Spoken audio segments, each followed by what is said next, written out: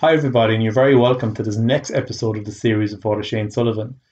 Just a quick reminder during the course of this episode, at times Father Shane may refer to handouts or to questions that people are, being, are asking him.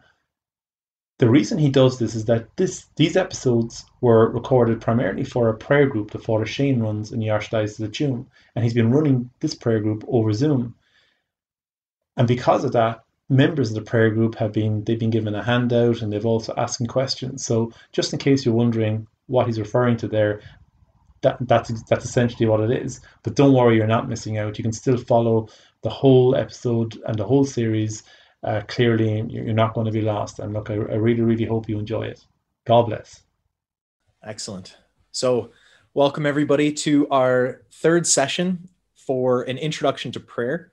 Uh, today, we're going to talk about the second of the three stages of the spiritual life, which is called the illuminative way. So, we'll begin together in the name of the Father, and of the Son, and of the Holy Spirit. Amen. Come, Holy Spirit, fill the hearts of thy faithful, and kindle within us the fire of thy love. Send forth your Spirit, and they shall be created, and you shall renew the face of the earth. O God, who by the light of the Holy Spirit did instruct the hearts of thy faithful, Grant by the same Holy Spirit we may be truly wise and ever rejoice in his consolation through Christ our Lord. Amen. Our Lady of Knock, pray for us. In the name of the Father and of the Son and of the Holy Spirit. Amen. So, we are on to the second stage of the spiritual life now. It's called the illuminative way. Illuminative way. And uh, the main work that happens here, if you remember from kind of our introduction, was uh, our transformation. That's what happens during this stage primarily of the spiritual life. Our transformation. This is maybe a, a tidy way to summarize it. In the illuminative way, we learn to love Christ. Uh, to love Christ more, I should say. We learn to love Christ more and to become more like him. So after the kind of purification of the first stage of the spiritual life, where we've made progress in detaching from mortal sin and detaching also from the deliberate venial sins, God leads us into the illuminative way, right? But before we actually get to the the that stage itself, uh, I just want to explain the transition from the purgative way to the illuminative way. So there's an image that the saints like to use, saints like Saint Catherine of Siena, which help us to understand the way that we go from one stage to the other. And the, image that she uses and that other saints use as well is the lives of the apostles. Okay? The lives of the apostles. Think about the apostles, they change, they grow, they throughout their lives, they are converted to become to come closer to Christ. And you can see where they live those three stages and also where they begin them, right? Again in the lives of the apostles from the Gospels. So, first, the purgative way. Where do they enter into the this first stage of the spiritual life? When Jesus calls them in Galilee, when they drop their nets and then they follow him. They leave behind their previous way of life. And now they live, they set off to live in friendship with God, to live the life of grace. So that's the first stage of the spiritual life, and it happens there when Christ calls them. The purgative way, again, begins for us when we make that initial conversion, experiencing God's mercy and uh, breaking from sin, and then beginning to live the life of grace, even though we might fight against, you know, the the inclinations to sin, and we might fight against sin and stumble and fall. Um, it begins there. Okay. What about the illuminative way, the second uh, the second kind of transition that they make. When do they make that leap? When they experience the depths of their own weakness, when they abandon Jesus in the Garden of Gethsemane. They experience the depths of their own weakness, number one, and they also experience terrible sorrow for their the, the high regard they still have for themselves their self love is what we call it. And they come to then afterwards to love Jesus for his own sake. and not just for what he gives them. This is key of the illuminative way. We'll talk about those two things in a minute. Then, when do they take the next step, so to speak? The first one is coming to follow Christ when he calls them and they drop their nets. The second way is begins when they they really face their the depths of their own poverty, their need, profound need for God, that they can't do it on their own. And secondly, their the love that they still have for themselves. They make the third sort of leap into the third uh, stage of the spiritual life, the unitive way at Pentecost, when they receive the Holy Spirit, God's own Spirit. But we'll talk about that more next week. Okay. So, God leads the apostles into the illuminative way by letting them see their own weakness and letting them see how their love is still so self serving. This is exactly how he brings us into the illuminative way as well. He leads us into it by letting us experience our own poverty. In other words, how profoundly we need God.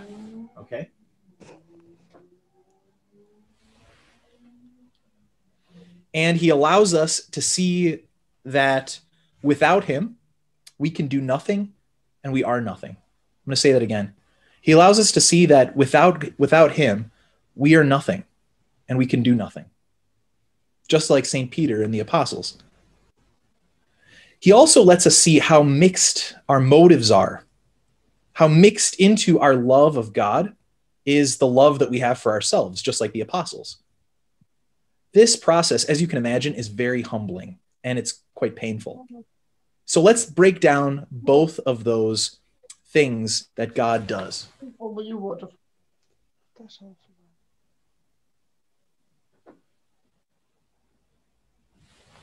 First, in the transition from the illuminative way, God lets us see just how much self love is mixed our love for Him. So we love God with what the saints have called a mercenary heart. It's a great kind of line, you know, a great thing if you wanted to to write down. Um, we love God with at the beginning what the saints call a mercenary heart. Do we love God? Yeah, absolutely, we love God. But without being conscious of it, we also serve God with self interest. We love God, but to a great extent, we love Him for, as St. Catherine says, our own profit, our satisfaction, or the pleasure that we find in Him. We love God, in other words, not for who He is, but for often what He gives us. This means that our love is weak. When we're deprived of consolations, the good feelings that God gives us, our love often fails. It can't last. Again, just like the apostles in Gethsemane. Think of St. Peter, right? When the moment came, that moment when he was, his love for Christ was really put to the test. This is how St. Catherine of Siena describes it. Not only did Peter not have the strength to suffer for him, but at the first sign or the first threat of danger, his loyalty was overcome by the most servile fear, and he denied him three times, swearing that he did not know him this weakness of St. Peter's love was exposed. It was made obvious, especially to Peter. God helps us in this transition into the illuminative way. God helps to show us our own mercenary hearts and how weak our love for Him is. Don't worry though, right? Because in the illuminative way, He's going to help our love to grow stronger. Now, the second thing that happens again that God shows us is that God shows us um, how much we need Him. How does He do that? He lets us experience our letting Him down. He lets us experiencing. He lets us experience this by letting us abandon Him, leave Him, sin against Him, betray Him. We have to experience the depths of our poverty how much we need God so we don't have this false image of ourselves, so that we don't think that we're sort of, I don't know, towers of strength. We have to know how much we need God. And in order for us to really learn this, God allows us to stumble and fall. He doesn't do this out of badness. He does this as part of this process by which he is purifying us and he's he's making us holy. God often, and I'm sure that many of you can relate to this, God allows us to experience some fault that we have. Maybe it's a sin that you continue to struggle with and you bring to confession over and over and over again. And you know, you find yourself brought to your knees by it. God is God allows us to experience these things in order to humble us. In that way, we can take a true measure of ourselves. The great spiritual writer Garrigou Lagrange says, by kind of facing our own weakness, we take a true measure of ourselves. We see we see where we're really at. God allows us to see that without him again, we're nothing and we can do nothing. And what's the result of that? The result of that is that our our hearts are moved to sorrow. Think of that great scene. It's from St. Luke's Gospel, right? Chapter 22, verses 54 through 62. Okay? That's Luke 22, verses 54 through 62, where Peter denies Jesus in the courtyard and he denies him to the servant girl. They're all around that fire. Do you remember? And Peter denies Jesus three times. And at the end of it, there's this line, and it's so poignant. Jesus looks at Peter. Jesus sees Peter, and they like lock eyes. And what happens? It breaks Peter. Peter faces Jesus, whom he has just denied that he even knew him. When we love God, even as weakly as we do, when we sin, when we betray him, when we let him down and we we we stumble and fall, what happens? Our soul weeps for sin. We're moved to sorrow. And we experience God's mercy. That's not new. That's something that we've experienced from the very beginning of our spiritual life, right? You we sin, we're moved uh, to sadness for our sin for some reason or another, either because we're afraid of punishment, especially at the beginning, but increasingly because we really love God. And we're really sorry for doing anything that would offend him. And then we experience God's mercy. That's nothing new. But here's the new thing. Here's what's new that happens in this transition into the illuminative way. God pulls back, God withdraws. Let me explain. God doesn't withdraw his mercy. We still receive his mercy. But now God withdraws the feeling of consolation. The sort of the feelings that we get uh, and that we have often been too attached to, that we've loved too much, that we've become dependent on. God why? St. Catherine. She says, in order to cause the soul to seek God without lively faith and a hatred for its own sensuality. God pulls those things away so that we would love God and not the good feelings that God gives us. Make sense? So in the in this transition, right, into the illuminative way, God pulls back some of those uh, lovely feelings, the consolations that we experienced in the first part of our spiritual life. You could call it almost like a honeymoon period, right? God pulls those things back, right? The withdrawal of those sensible consolations is called the dark night of the senses. You guys have heard of probably the dark night of the soul, right? Yeah. Well, the dark night of the senses is the transition from the purgative way into the illuminative way. The dark night of the soul is the transition from the illuminative way into the unitive way. And we're going to talk about that next week, okay? But the dark night of the senses is what we're talking about here, where we our hearts are broken because we've we've experienced our own kind of the weakness of our own love and our own poverty, how how weak our own commitment to God is. And we've come to God in his mercy, and God has given us his mercy, but he pulls him his those good feelings back so that we would love God more. We would press on and love him even when we don't feel like loving him or it doesn't feel good to love him. Okay? He wants us to love him for his own sake. That's what the maturing is that's happening here. And not for any consolations or good feelings or other blessings, even that God gives us. Okay, so God's work is, you could maybe say, our emptying of ourselves. God is emptying us. Why? He's emptying us of our of our pride and our self-centered reasons we had for loving him so that he can we can be filled with him. In this stage, we don't maybe experience those consolations, the same kind of consolations we experienced at the first stage of our spiritual lives. But don't worry, right? God doesn't leave us totally bereft. Um, what does God do? God gives us greater lights, is how the spiritual writers describe it. In other words, greater understanding of himself during this stage of the illuminative way. He gives us greater fruitfulness in our apostolic work. We become far more effective apostles he gives us a more intense desire for the glory of God and the salvation of souls. All these things God builds within us and kind of blesses us with during this time.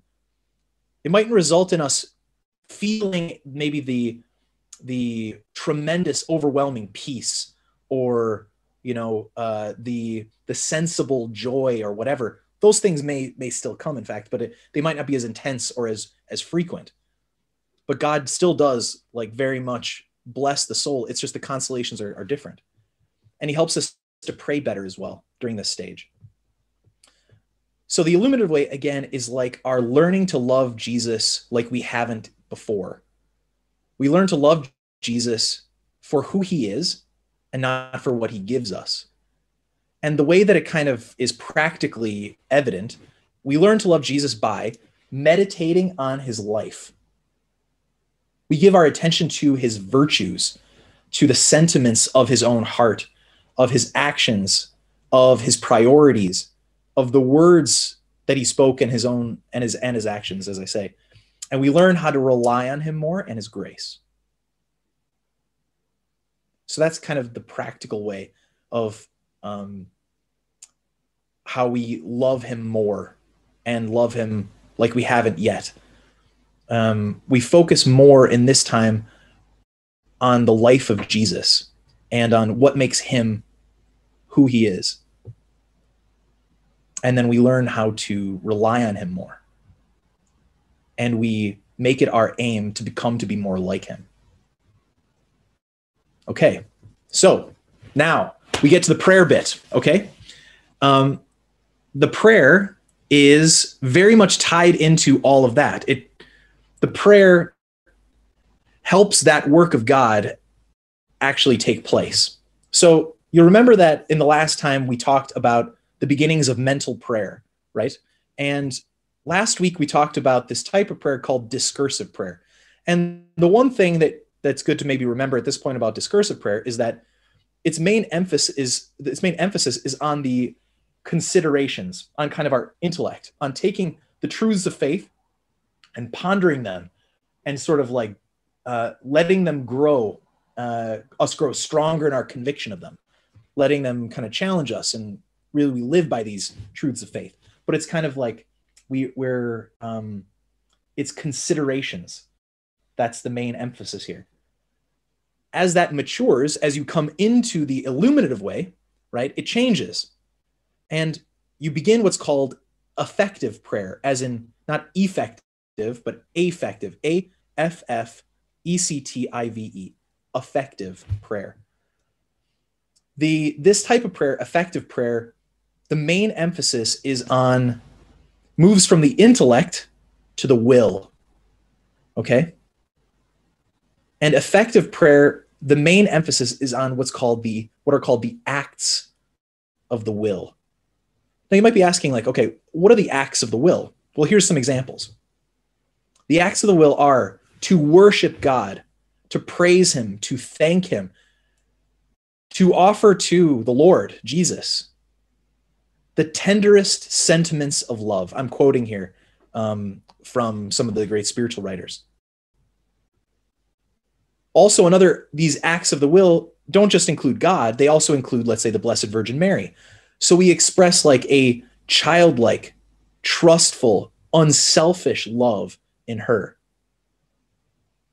Trust in the saints.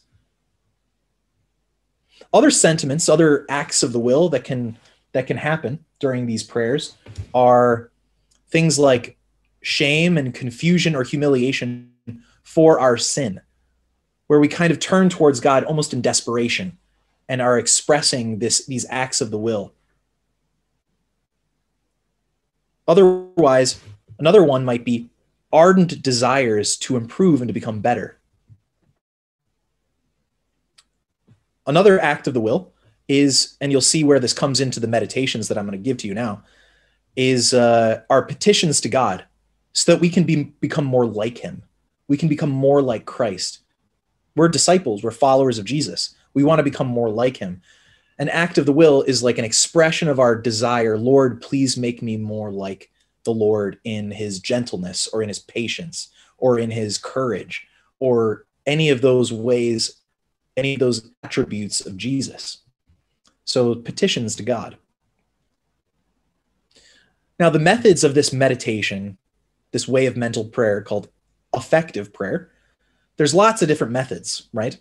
And you'll see that, I mean, there's a lot of overlap between this discursive prayer and the affective prayer. It's just the emphasis that's quite different.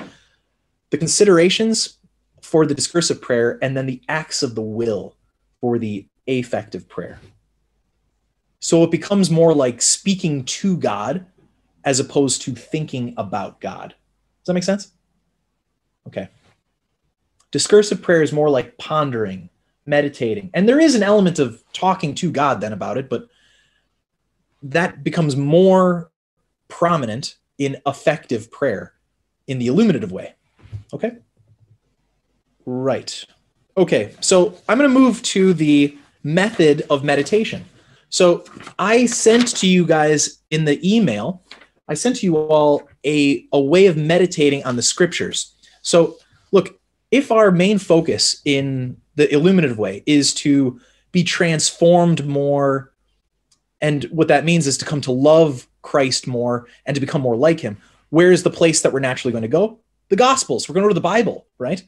So this is a way to meditate affective prayer, affective prayer, right? um, this type of mental prayer using the Bible. Okay, that's what I've I've sent to all of you here. Now, this isn't. You'll be glad to know this isn't me. I'm not. I didn't come up with this. Right?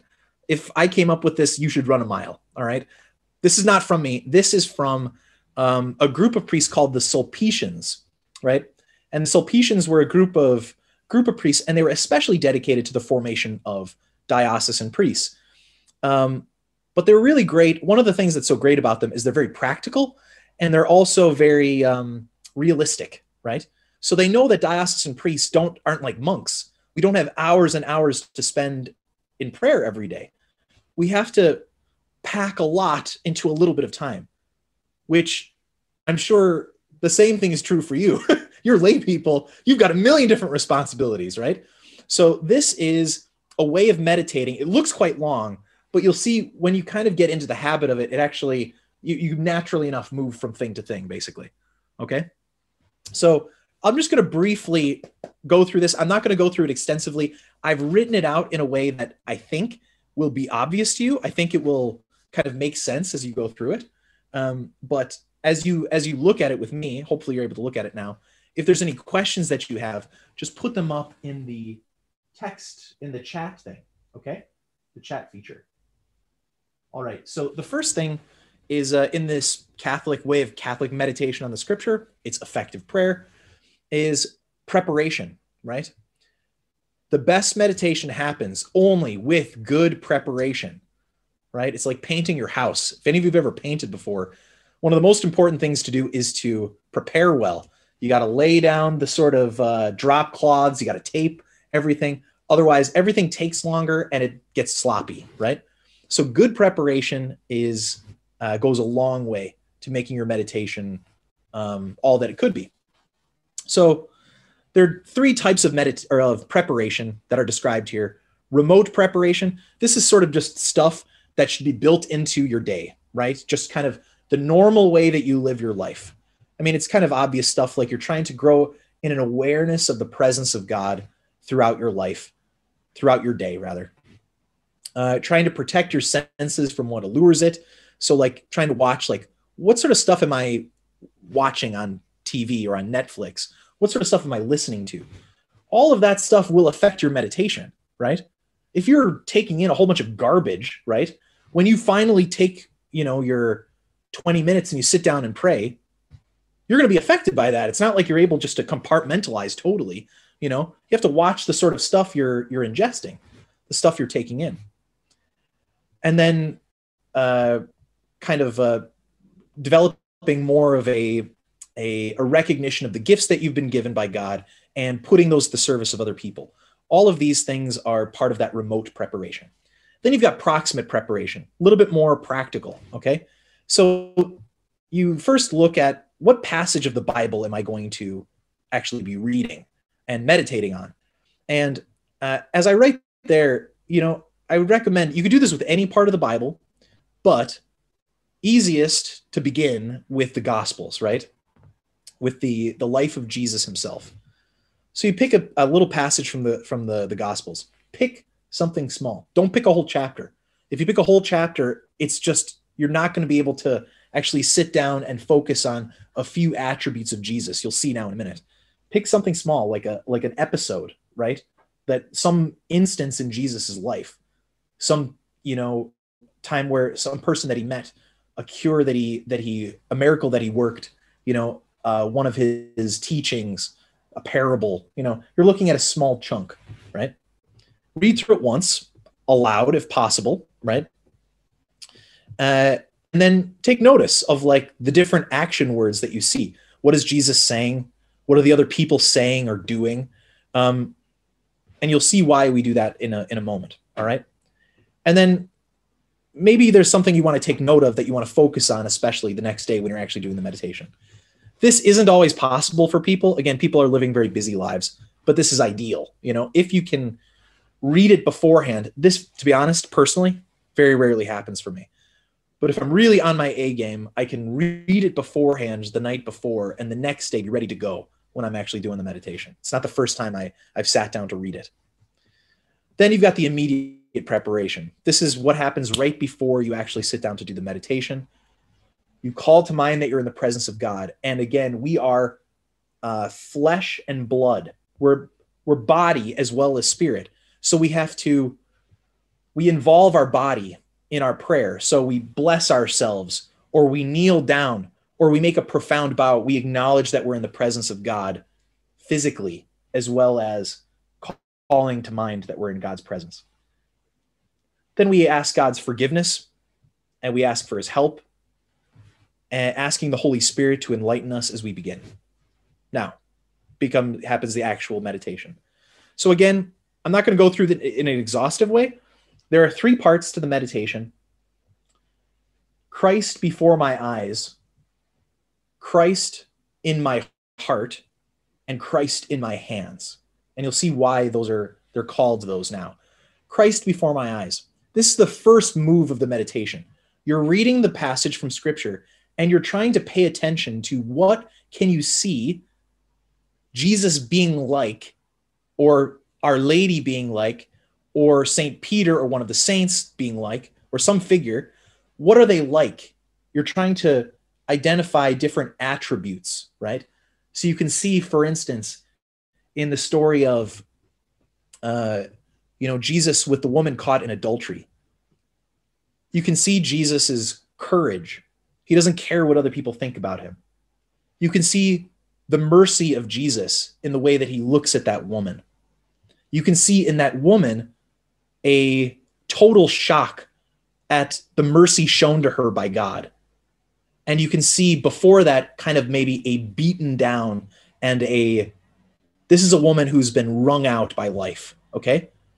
So the first move is to kind of recognize, okay, what what can I see about these figures? It's helpful to notice like the action words. What is Jesus saying? What is she saying? What are they doing? What's happening? These are just helpful ways to kind of get into it where you're you're noticing things about them. And you're not just noticing those things.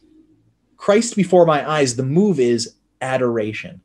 So we're adoring the Lord for some way that he is, for his mercy, for his courage, for his uh, poise under pressure, or so, you know what I mean? There's a number of different things. So we're adoring the Lord there. We're looking at this not dispassionately, we're looking at this lovingly. The second move is Christ in my heart. So this is almost where we turn our gaze inward and we reflect. Am I living what I've just admired and adored in Christ or in Our Lady or in the saints or whatever? We turn our gaze inward and we say, Well, am I courageous like that? Do I not care what other people think about me, but look at the person who is it, who God has who God wants me to defend or protect or whatever. Am I like that? And very often the answer is no.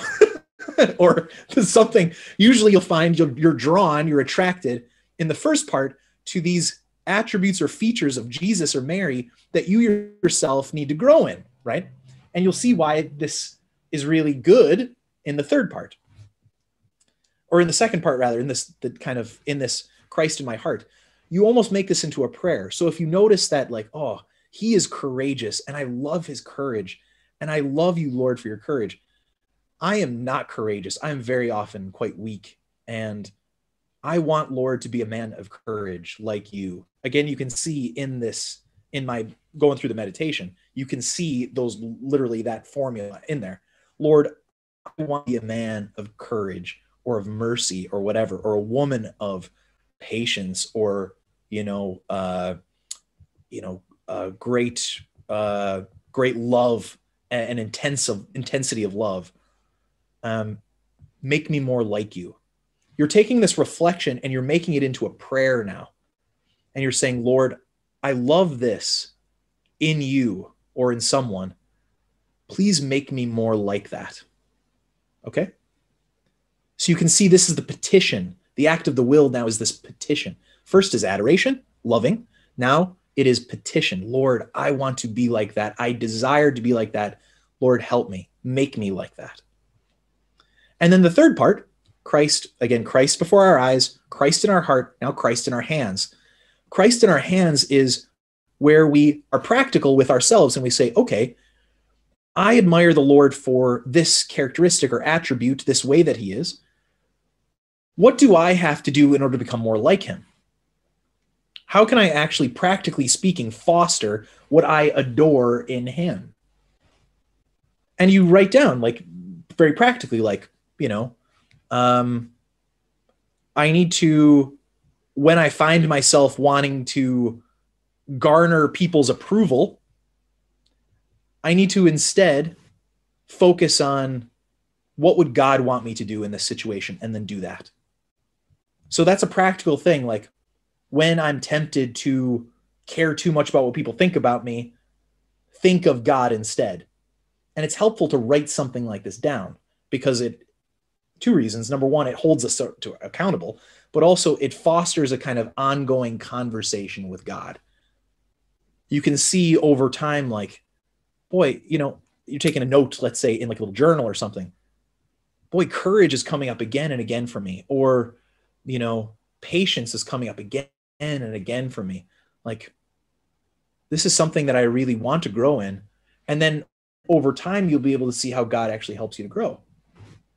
So it fosters like an ongoing conversation with God. It's not like every time you sit down to pray, it's like a new, it's like you're starting with a blank slate with God. It's an ongoing relationship that we're building with him.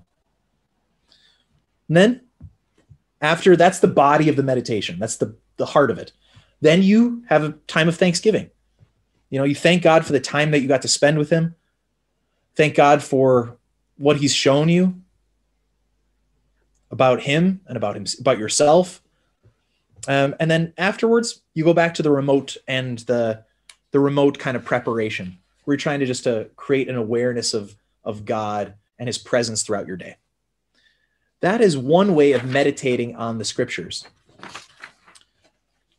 I want to offer just a last couple points, and then you might have some questions.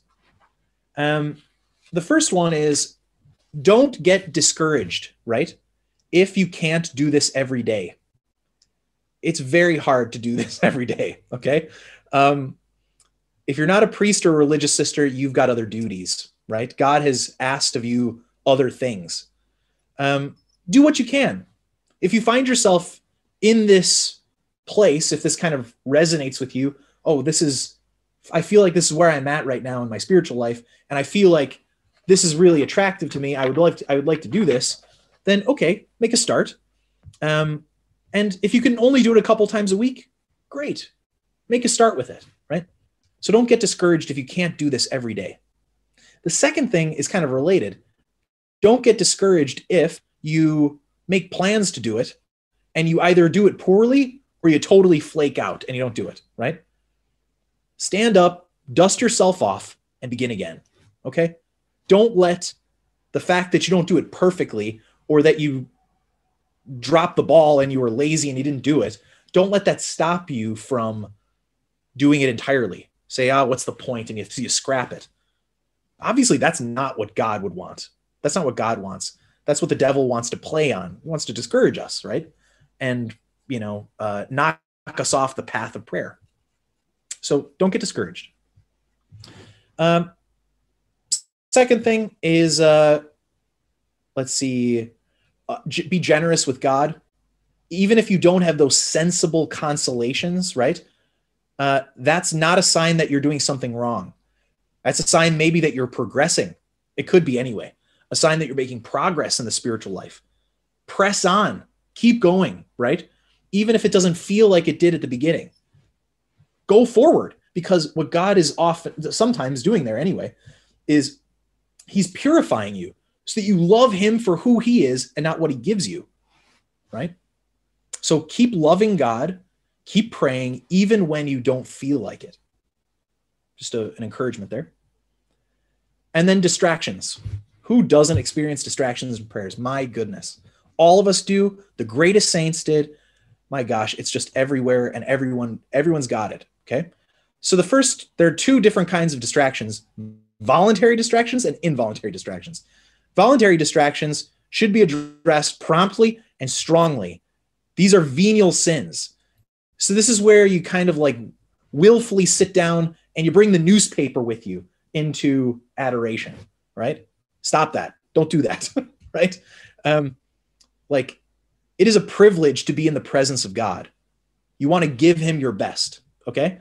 And so don't go in basically like lackadaisical or thinking, well, I, all that matters is that I'm physically present. I can be a million miles away in my heart and mind, right? That's a voluntary distraction. And you want to be really strong with yourself about that. Involuntary distractions are where you're sitting there and you're trying to pray. You're really working on it. And my gosh, you're just being battered around the place by the craziest stuff. Your mind is wandering and you're, oh, gosh, you're trying so hard to stay focused on the Lord or on what your meditation is or something. And you find yourself just so, I don't know, like uh, out to sea, right? Uh, you're not trying to conjure these things up, they're just happening, right? So, first of all, if you become aware of them or when you become aware of them, gently bring your attention back to what it is that you're doing, right? Don't get discouraged here. Don't get, don't throw in the towel or beat yourself up or sort of like really get down in yourself. That's to play into the enemy's hands, right? Gently bring your attention back. Even if you have to do that a dozen times or two dozen times during your holy hour, this, this, these are not my advice. This is the advice of the saints. Gently bring your attention back to what it is that you're doing. And if that doesn't work, right, you do that a million times, and God is still bringing your attention back to something, right? You can pause your prayer for a minute, and bring that thing, whatever God is bringing your attention to, or whatever your attention is being drawn to, bring that to God. Maybe you're distracted by something that someone said to you and it's just bothering you. It's like niggling at you, you know, and you can't find yourself able to to really focus on your prayer. And you're trying and you're gently bringing yourself back. Okay, bring then that thing to God, right? And ask for uh, ask for God to help you to deal with it, maybe to help you to come to forgive or to at least come to be detached from the thing where you're, you know, it's not preoccupying you. Another thing you can do when you're distracted is have a book handy. Not just any book, a spiritual book, right? A book that can help you. Sometimes you just have to sit and actually read. Um, I think it was St. Teresa of Avila. I mean, she had times when she could not pray. She could not pray on her own without having a book with her, right? Um, and she's Teresa of Avila. Like, my gosh, like us poor saps, like we should feel quite all right to have a recourse to a, a good spiritual book from time to time. Uh, make sure you're well prepared for your meditation. You know, if you're come if you go into adoration or you go into prayer and you have to pop your earbuds out to go in, well, it's going to be hard for you to get into the mode of prayer. Preparing yourself well might mean taking a little bit of time of silence, especially giving yourself time to sort of like settle down and then move into that time of like spent in communication with God, who speaks again in the quiet of our hearts. Um, all that noise is uh, can be quite uh, can be a barrier for us hearing His voice. It's good to be try to be recollected. Okay, I think uh, that's a lot. That's a lot of that I've thrown at you. The nice thing about these recordings is that you know if there's something that you want to go back to, you don't have to listen to the whole thing again, but you might be able to go back and listen to just part of it. Um, if there's something that you you feel like you missed or you want to double back on. So I open the the floor to questions. Does anyone have any questions about any of that? Um, the easiest thing again might be to put it in the chat box because otherwise it can be a little bit uh, chaotic with uh, so many people on the call at the same time. While you're typing, just to remind you of the so you don't get you don't lose the forest kind of yeah lose the forest for the trees or whatever. Um, the overarching project within this phase of the spiritual life the work of god is our transformation where we come to love god like we haven't loved him before to love him more. And we also come to be more become we come to be more like him right so that's what's happening we're growing in our conformity to jesus we're growing to become a bit more like him in the way that he is. Okay, question. Without the benefit God gives us, why would one love him? Yeah. Uh, well, uh, he when I'm talking about the benefits that he gives us, I'm talking about the good feelings, right? So he begins to withhold the good feelings. It's not like God ceases to bless us. The fact that you're breathing is reason to love God. You exist because of God. You were created out of nothing. You're created in love, purely by love. And you were redeemed by God while you were still far from Him, while you still didn't love Him. And you were quite, you, not you personally, now, all of us we're quite unlovable, right? Um, why would we still, why would we love God even though we don't get the good feelings? because God has been so good to us. The only right response and just response is to thank God and love him with all our hearts and to live for him.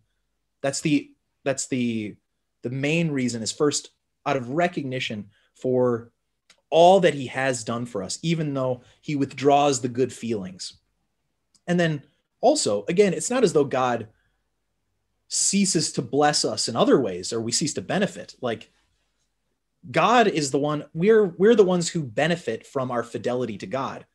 Like to those who are faithful, Jesus says, eye has not seen, ear has not heard, nor has it so much as dawned upon the mind of man what God has ready for those who love him.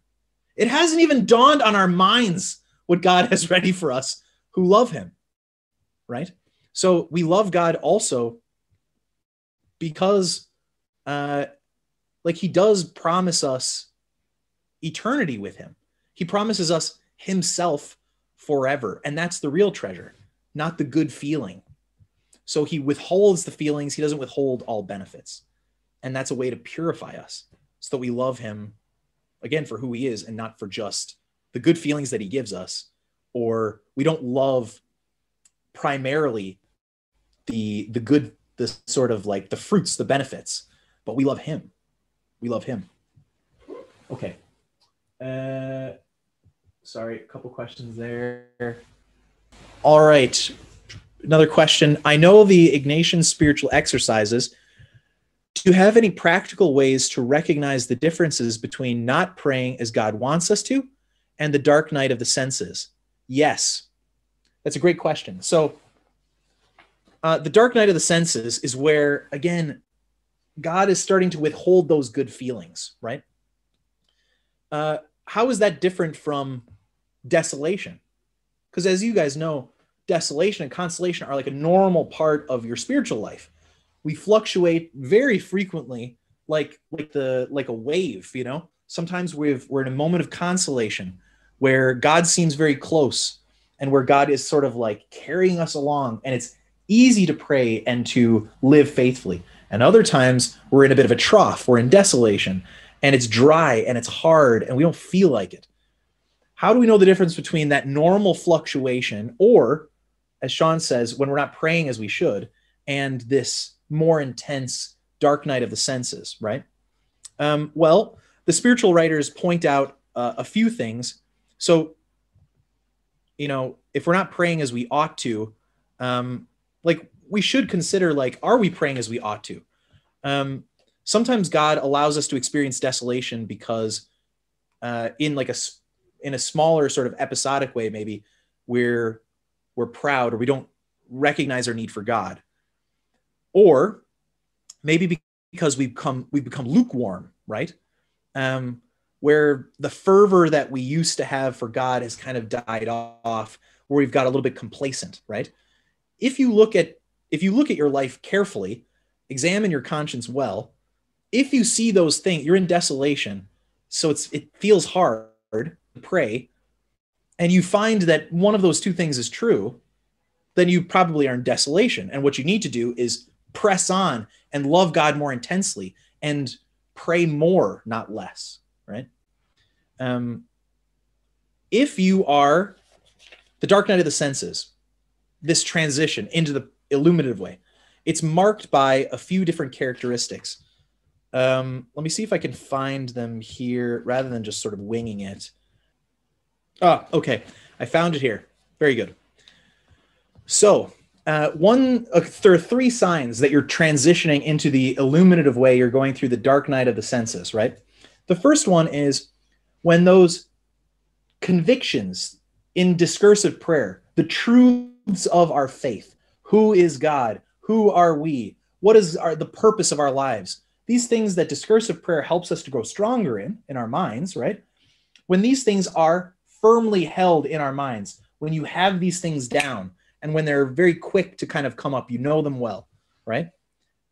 That's one sign that you're ready to you you may be moving into this uh, illuminative way and a time for affective, more affective prayer.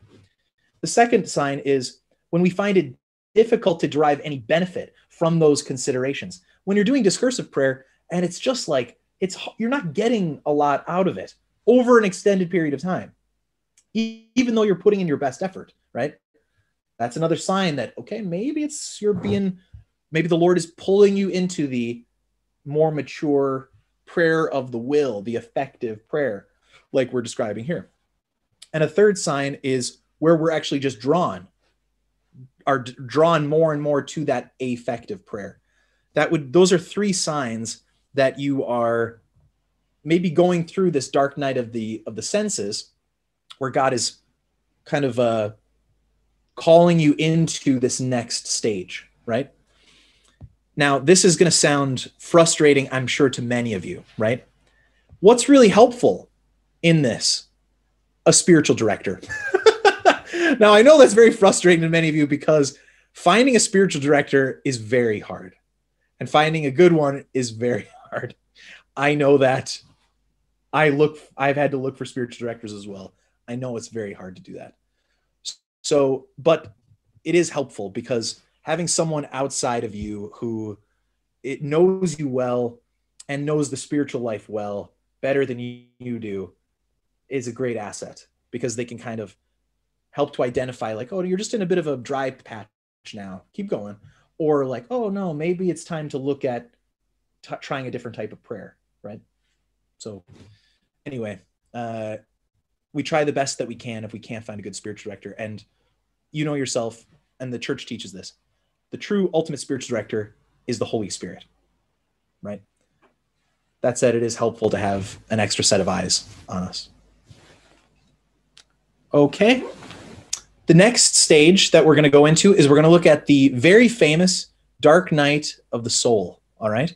That transition in between the illuminative way uh, where the focus is on our, on our transformation, and the unitive way, where our focus is on with growing an intimate uh, union with God Himself. Okay, um, so we'll look at that now in the in the next session, and the type of prayer that's most associated with that, which is called con- uh, contemplation. Now, that said, contemplation is still something that is practiced by people even in the very earliest stages of the spiritual life. So don't think that you need to be like you know Mother Teresa, literally Mother Teresa, or like Saint Teresa of Avila or Saint Bernard of Clairvaux to do to benefit from from contemplation. It's something that all Christians can can do and benefit from. Okay, um, but we'll talk about that more the next week. All right. Good. Will we finish with a prayer and then I'll give all of you a blessing? In the name of the Father and of the Son and of the Holy Spirit, amen. So we pray together. Our Father, who art in heaven, hallowed be thy name. Thy kingdom come, thy will be done, on earth as it is in heaven. Give us this day our daily bread, and forgive us our trespasses, as we forgive those who trespass against us. And lead us not into temptation, but deliver us from evil. Amen. The Lord be with you, and with your spirit. May Almighty God bless you all, the Father, and the Son, and the Holy Spirit. Amen. God bless you all, and know that I'm praying for you all every day. All of you guys who are part of this uh, part of this class each week. So you're in my prayers every single day. God bless you. We'll see you next week.